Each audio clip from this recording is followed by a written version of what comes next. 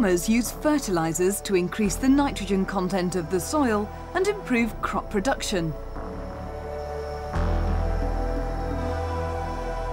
One of the chemicals they use is ammonium nitrate. The starting materials are ammonia gas and nitric acid. Ammonia is made industrially from nitrogen and hydrogen. The two gases are mixed in a pressurised container. This is the equation for the reaction. Each nitrogen molecule reacts with three hydrogen molecules to form two molecules of ammonia.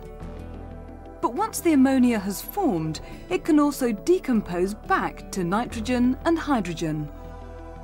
The reaction is reversible. It can go forwards and backwards.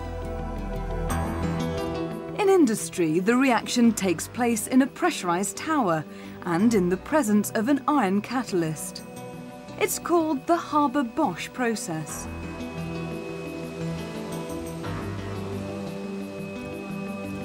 A temperature of 450 Celsius and a pressure 200 times greater than atmospheric pressure are carefully chosen to maximise production. Ammonia is the starting point for making ammonium nitrate. The other raw material is nitric acid. To make nitric acid industrially, ammonia gas is oxidised in a huge burner. Ammonia reacts with oxygen in the air to produce nitrogen monoxide and water. For the reaction to happen at a reasonable rate, it needs a platinum catalyst. See how a hot platinum wire glows when it's suspended above a solution of ammonia. It's a sign that ammonia vapour and oxygen are reacting. The same glow happens inside the industrial burner.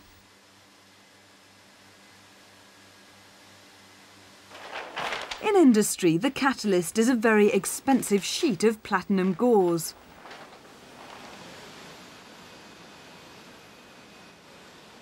The next step is for the nitrogen monoxide to be oxidised further. Nitrogen monoxide reacts with more oxygen to produce nitrogen dioxide. Add air to a flask of colourless nitrogen monoxide gas and it forms brown nitrogen dioxide.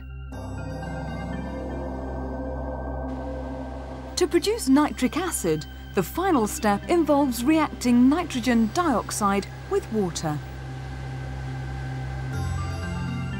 This is the equation for the reaction.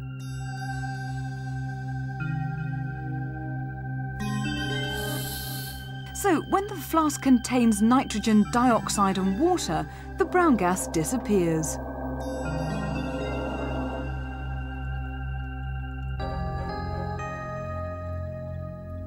It dissolves to form a clear solution of nitric acid.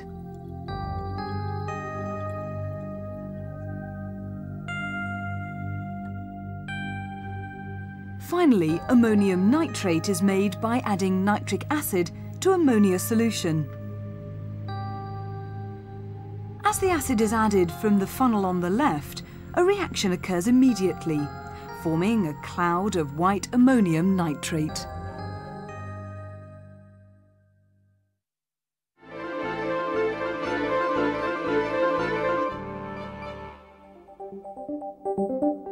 Today we rely on plastics to make all sorts of objects. But the raw material for all these plastics started life millions of years ago. They're made from crude oil. Before it can be used in the plastics industry, it has to be processed. A key reaction that happens at the refinery is called cracking. Cracking is where long chain molecules in the oil are broken down into shorter ones. To get an idea of what's happening in these towers, we can crack a fraction of crude oil in the lab.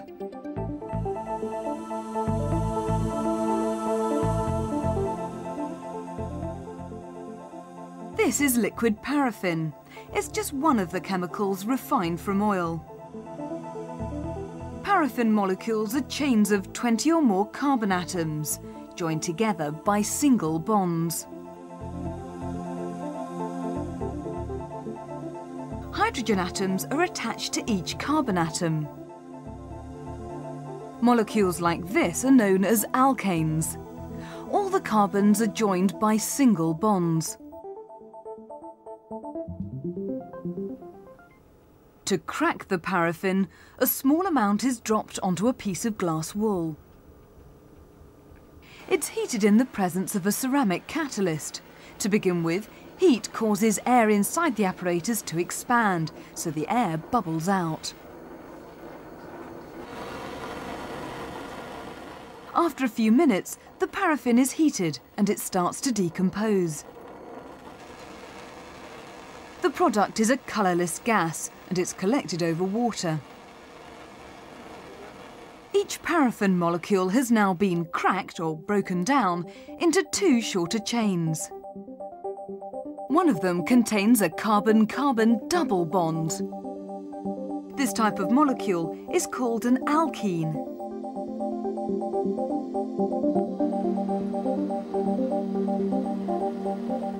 Once a full tube of gas has been collected, it's sealed, ready for testing. Bromine water is used to show that an alkene is now present.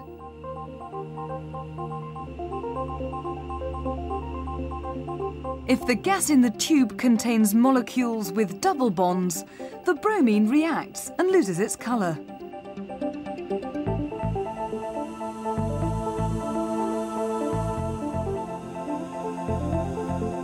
Molecules containing double bonds are the basic building blocks for a group of plastics known as polymers. Each building block is called a monomer. Thousands join together to form long chains called polymers. One of the most common polymers in use today is polystyrene. It starts life as the monomer styrene, a runny, clear liquid that looks and behaves like water.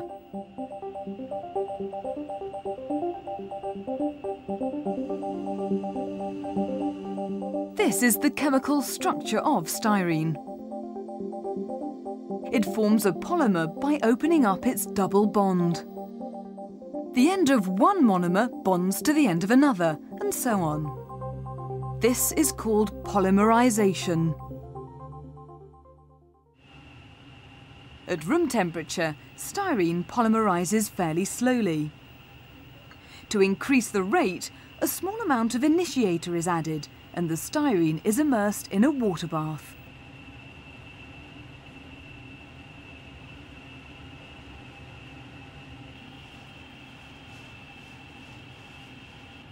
After an hour, the consistency has changed. It's getting thicker.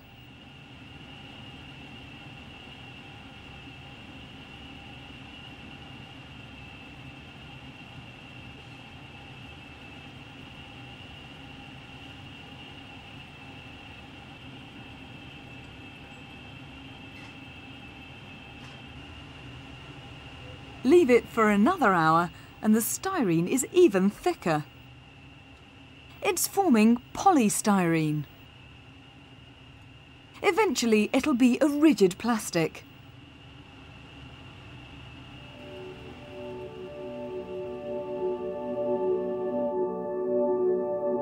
In industry, the starting materials are mixed and heated in large sealed tanks.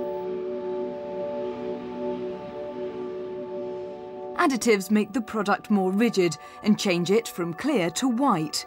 It ends up as tiny pellets of polystyrene, ready to be melted and moulded into all sorts of shapes.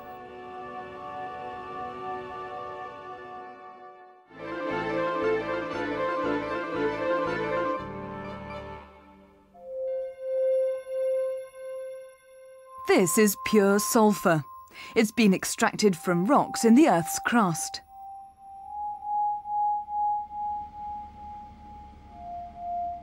When sulphur is heated over a gentle flame, it melts to form a runny yellow liquid.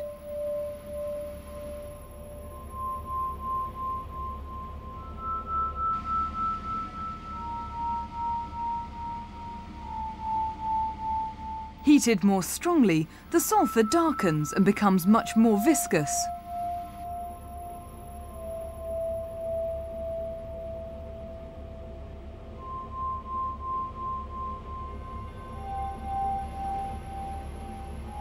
When sulphur is heated in air, it burns. Sulphur reacts with the oxygen in this gas jar to produce a characteristic blue flame. The white fumes left behind are sulphur dioxide. This reaction is the starting point for making sulphuric acid.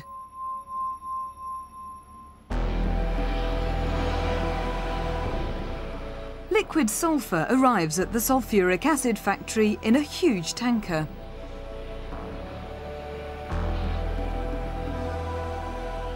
It's sprayed into a furnace and burnt in a blast of dry air.